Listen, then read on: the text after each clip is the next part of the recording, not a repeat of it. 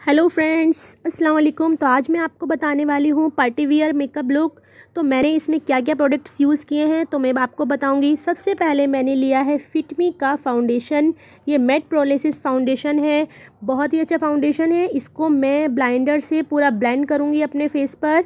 इसको हमें अच्छे से अप्लाई करना है टैप टैप करके। फाउंडेशन के बाद मैंने लिया है मालियो का कंसीलर। ये कंसीलर इतना अच्छा है कि इसको हम फाउंडेशन की अकॉर्डिंग भी यूज़ कर सकते हैं। अगर हमने फाउंडेशन नहीं लगाया है तो तो मैं इसको अप्लाई करूँगी अपने आइज़ पर। इसको अच्छे से ब्लेंड कर लेना है। ब्रशेस की सहायता से। तो मैंने ये लिए हैं कुछ ब्रश अपना आई मेकअप करने के लिए। आई शेडो के लिए मैंने शेड लिया है येलो, लाइट येलो कलर का शेड लिया है। इसको मैं ब्रश की सहायता से अपनी आईज़ पर ब्लेंड करूँगी। तो इसे हमें अच्छे से अप्लाई करना है। देन उसके बाद मैंने लिया है लाइट पिंक कलर का।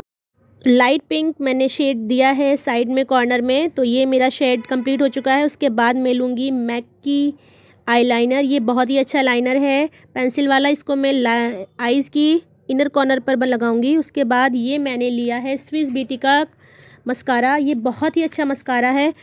इसको हम बिना आई के भी यूज़ कर सकते हैं। ये आई का काम करता है। ये मैं आइज़ पर लगा रही हूँ अपने। उसके बाद मैंने ली है ये मैबलिन की काजल। इसको मैं इनर कॉर्नर पर लगाऊँगी। तो इसके बाद मैं कर रही हूँ ब्लशिंग मुझे ब्लशिंग बहुत ज़्यादा पसंद है। ये मैंने पिंक कलर की शेड लिया है ब्लशिंग का।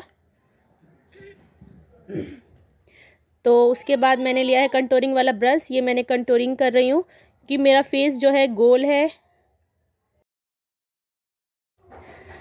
मेकअप डन हो चुका है। अब बारी है लिप्स की। तो ये मैंने लिप ग्लोसी की लिपस्टिक ली है। ये मेरी बहुत ही अच्छी लिपस्टिक है। इसका शेड है लाइट ब्राउन कलर और ये मेरा मेकअप हो चुका है डन उसके बाद ये छोटू सा दाना भी निकल रहा है मेरे लिप्स पर। आप देख सकते हैं।